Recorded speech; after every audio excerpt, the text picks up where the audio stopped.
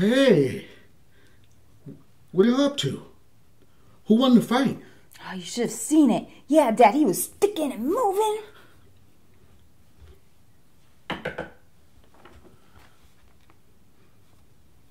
Go hide in the room.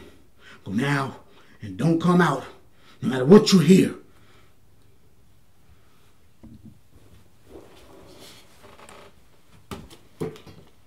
Hey guys, I thought we weren't meeting until tomorrow. You tried to steal from me. No, no, no, no, no. No, I didn't. I just wanted, I just wanted to put it back. I was going to put it back. Where the hell do you think you're going?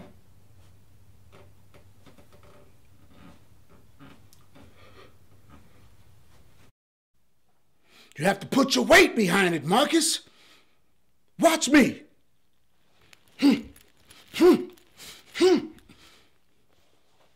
There you go.